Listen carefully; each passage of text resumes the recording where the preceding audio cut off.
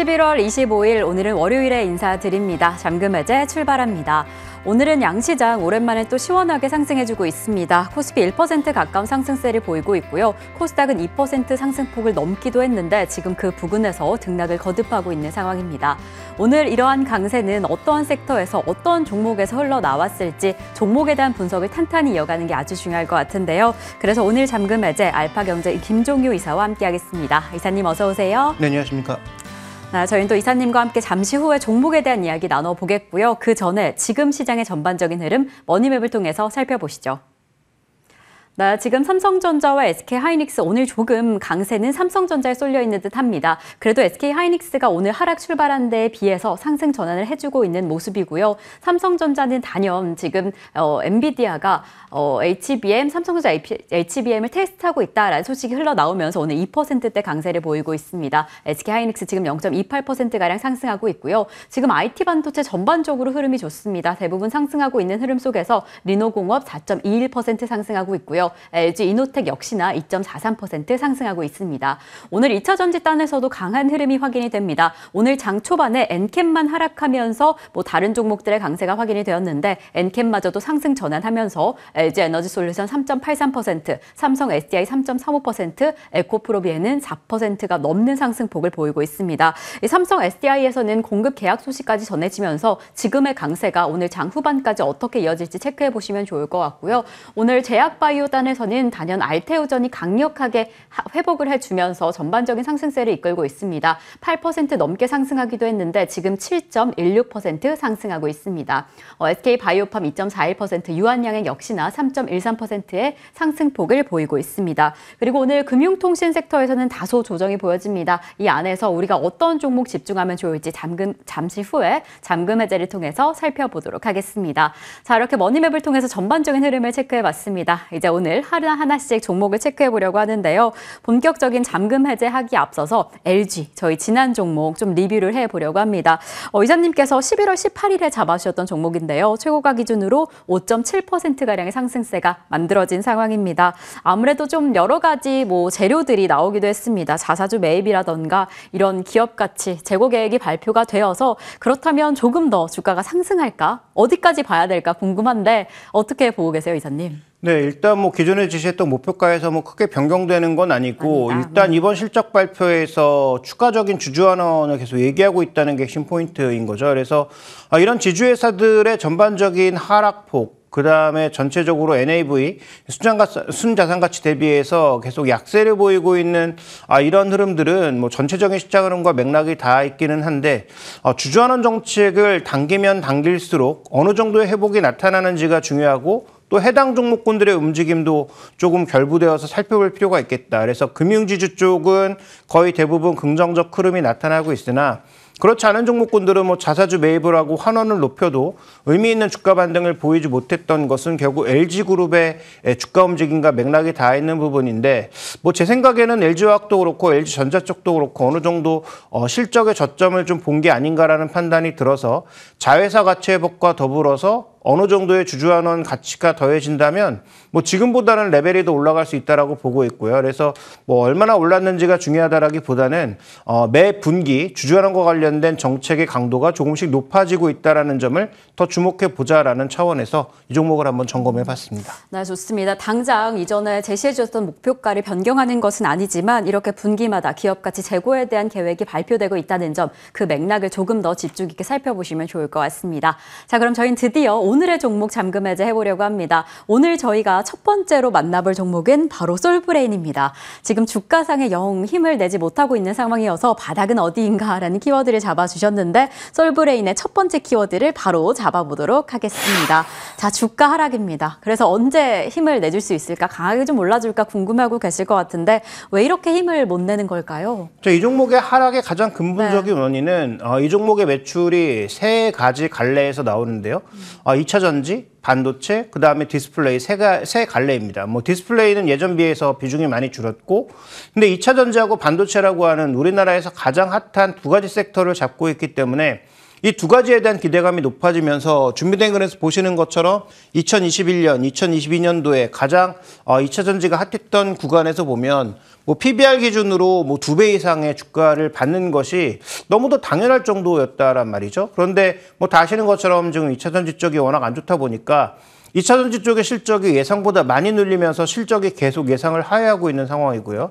그래서 전체적으로 이 종목의 핵심 포인트는 지금 value가 그래서 어, 지금 PBR 1.3배 정도 수준까지 내려온 상황인데 이거 적절하냐가 이제 핵심 포인트라는 거죠. 그러니까 예전에는 성장과 관련된 기대감 때문에 한때는 4배도 받았고 2배 이상이 기본이라고 생각했던 종목이 최근에 주가가 급락에 급락을 거듭하면서 1.3배까지 떨어졌는데 전 떨어지는 건 일정 부분 뭐 당연하다라고 봐요. 왜냐하면 2차 전지 쪽에 부여했던 그 서사가 끊어진 상황이니까 당연히 밸류는 떨어지는 게 맞는데 그러면 거의 자산 가치 수준으로 떨어진 현재 주가는 적정하냐에 대한 판단이 지금은 중요하다라고 봐서 뭐 주가 하락은 저는 어느 정도 피할 수 없는 사실이었고 현재 구간의 현재 위치가 과연 적정한지가 가장 이 종목을 바라보는 데 있어서는 핵심이다. 이렇게 좀 보고 있습니다. 음, 네, 좋습니다. 지, 지금 위치가 적정한지 앞으로 어떻게 보면 좋을지 두 번째 키워드를 바로 열어보도록 하겠습니다. 솔브레인의 두 번째 키워드는 실적 회복,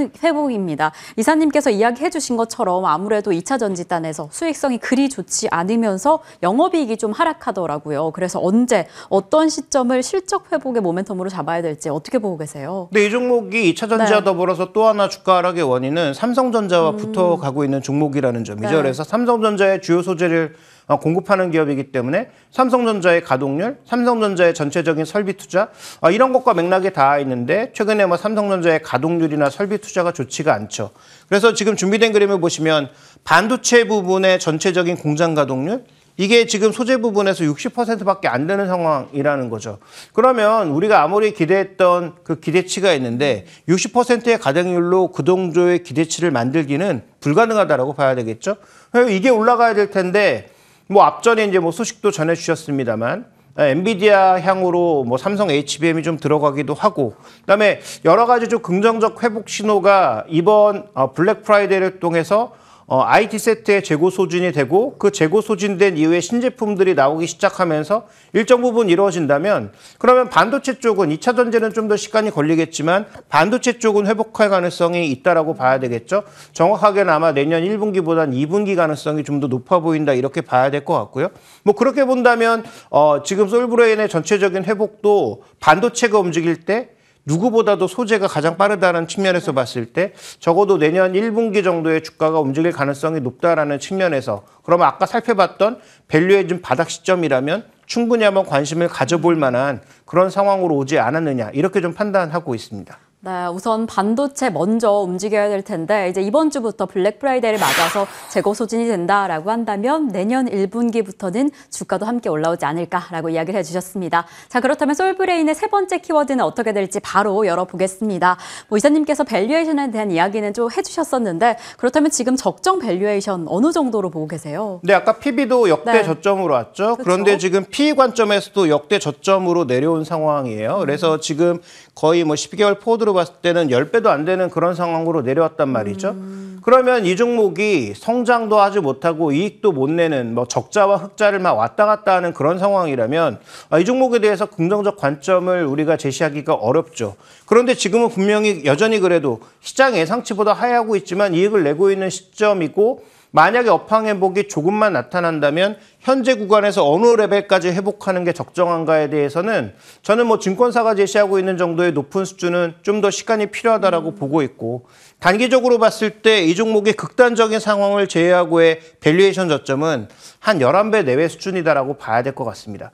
그렇게 본다면 지금 뭐 증권사에서 제시하고 있는 20만 원 후반대 목표가는 조금 너무 멀어 보여요. 그래서 일단 만약에 반도체가 최악은 아니고 서서히 회복 국면 으로 간다면 최소한 PER 한 12배 정도의 회복은 굉장히 빠른 속도로 나타날 수 있다라고 보고 있고 그럼 내년도 추정 실적에 12배를 곱한 정도의 주가가 한 지금 23만 원 정도를 바라볼 수 있기 때문에 그 정도의 1차 회복은 바라볼 수 있고 만약에 예상보다 반도체가 더 좋고 그다음에 2차 전지도 바닥을 찍고 turning했다. 디스플레이는 어차피 지금 크게 기대할 만한 상황도 아니고 비중도 작기 때문에 디스플레이는 일단 논외로 치고 2차 전지 회복까지 이어진다면 그때는 좀 더 공격적으로 목표가를 높여볼 수가 있는 거겠죠. 네, 그렇다면 우선적으로는 솔브레인 목표가 23만 원으로 지켜보시면 좋을 것 같습니다. 자, 그럼 저희는 계속 이어서 두 번째 종목 잠금 해제 해보겠습니다. 저희가 오늘 두 번째로 지켜볼 종목은요, 바로 LG U+입니다.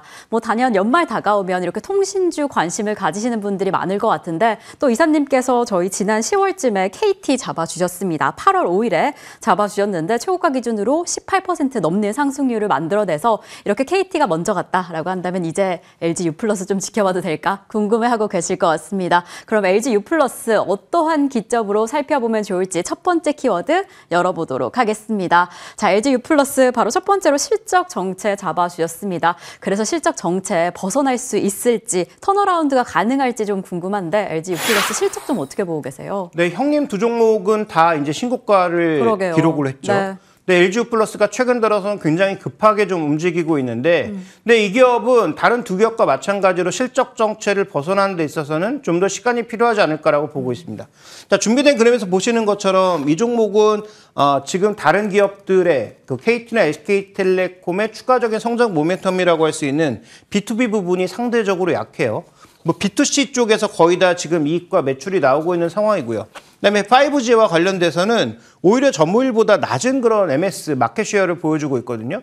그러니까 돈 되는 산업, 더 많은 돈을 받을 수 있는 쪽으로는 그렇게 사업을 잘 영위하지 못했고 그게 그동안 주가 약세의 이유였고 그다음에 3분기까지 실적이 전체적으로 낮은 이유였죠. 그래서 전체적으로 지금 이 종목은 KT나 SK텔레콤만큼의 valuation을 받기는 어렵다가 핵심 포인트고요. 네. 그래서 최근에 나타나고 있는 주가의 반등은 어, 최근 시장의 컨셉 자체가 뭐 물론 잘 가는 종목은 여전히 잘 가는 잘 가고 있지만 소위 지수가 회복하면서 낙폭과대주들의 반등이 하나의 컨셉이기 때문에 LG U+도 그동안 소외된 종목에 어느 정도의 제자리 찾기 정도로 이해해 보시는 게 제가 보기엔 좀 적절한 그런 상황이 아닌가라고 보고 있습니다. 네, 물론 다른 경쟁사에 비해서 시간이 조금은 필요하겠지만 이 시점에서 다소 소외됐던 흐름을 좀 지켜보시면 좋을 것 같습니다. 자, 그렇다면 LG U 플러스 두 번째 키워드는 어떻게 될까 바로 만나보겠습니다. 뭐 단연 경쟁사와 그래서 어떤 점이 더 나을지 좀 궁금해하고 계실 것 같은데 어떤 부분이 좀 부각될까요? 네, 지금 LG 플러스가 다른 네. 경쟁사 대비 좋은 부분은 뭐 거의 없다라고 봐야 아, 되는데 네. 다만 비슷한 부분은 있다. 어, 바로 이 부분인데요. 세 회사의 총 주주 환원율 수익률이 에, 전체적으로 지금 비슷한 수준을 기록하고 있다는 거죠. 그러니까 지금 연말에 들어오고 있는 연기금의 투자의 패턴은 어, 그냥 인덱스를 사는 측면도 분명히 있겠지만 단기적으로 배당을 노린 그런 어, trading이기도 하거든요. 그래서 아마 1월 넘어가면 재차 매도가 나올 가능성이 높아지고 있는데 그러면 상대적으로 좀 고배당을 시도하는 그런 종목군들 연말 배당을 시도할 수 있는 종목군들의 매수가 들어온다라고 봐야 될 것 같고요. 그럼 이것은 뭐 KT, U 플러스 그다음에 SK텔레콤에 모두 해당되는데 상대적으로 주가 수익률 기준으로 너무 낮았으니 LG U 플러스도 비교적 적극적으로 사는 모습을 보여주고 있다. 그래서 다른 회사 차별점은 아니지만 다른 회사 유사한 점을 찾으면 총 주주환원 수익률이 비교적 높은 측면이라는 점에서 이 종목이 최근에 기관의 선택을 적극적으로 받고 있는 것이 아닌가 이렇게 봐야 될 것 같습니다. 네, 총 주주 수두 환원율 측면에서 지금 다른 경쟁사와 비슷한 수준을 가져오고 있고 이에 따라서 외국인의 수급이 좀 잘 들어오고 있습니다. 이러한 흐름 안에서 지금 저평가되어 있는 LG U 플러스 조금 더 집중 있게 살펴보시면 좋을 것 같고요. 그렇다면 세 번째 키워드는 어떻게 될지 바로 열어보도록 하겠습니다. 세 번째 키워드는 valuation입니다. 사실 이사님께서 뭐 KT와 SK와 비교해서는 valuation이 좀 낮다라는 이야기를 하기는 하셨는데 그렇다면 지금 valuation 어떤 측면으로 좀 지켜보면 좋을까요? 네, 지금 SK텔레콤은 네. 뭐 AI로 포장되어 있지만 AI보다는 전체적으로 데이터 센터의 활용성, B2B, 뭐 B2G 이런 쪽에 강점이 있다라고 봐야 될 것 같고 KT는 더더욱 그러하고 근데 LG 플러스는 상대적으로 그런 요소가 좀 떨어지니까 그런 관점에서 보면 이 종목이 동일하게 SK텔레콤이나 KT만큼 시장 평균으로 받을 수 있느냐? 전 거기서 할인해야 된다라고 보고 있고요. 그러면 현재 밸류는 바닥에서 올라가고 있는 건 맞아요. PE 측면이나 PB 측면 모두 바닥에서 회복을 노리고 있는 상황인데 그 회복이 KT와 동일하게 10배까지 갈 수 있느냐? 그렇지 못하다라는 거죠. 저는 한 10% 정도 할인한 9배 내외 정도로 보고 있고 그렇게 본다면 이 종목의 반등폭은 뭐 최근 들어서 반등을 좀 빠르게 하긴 했는데 그렇게 높지 않은 한 13,000원 정도 내년도 실적에 PER 9배를 곱한 한 13,000원 정도가 제가 보기엔 반등의 한계가 될 가능성이 높다. 네. 이렇게 바라보고 있기 때문에 그 정도 내의 수익률을 바라본 상태에서 아마 연말 정도까지 한번 목- 목표 수익률을 잡아보시는 게 좋지 않을까 이렇게 좀 판단하고 있습니다. 네, 좋습니다. LG U 플러스 목표가 13,000원 이야기해 주셨는데 사실 다른 경쟁사와 비교해 보면 뭐 SK도 그리고 KT도 valuation 측면에서 그냥 저평가되었다라는 그 이점으로 지켜보시는 게 맞는 걸까요?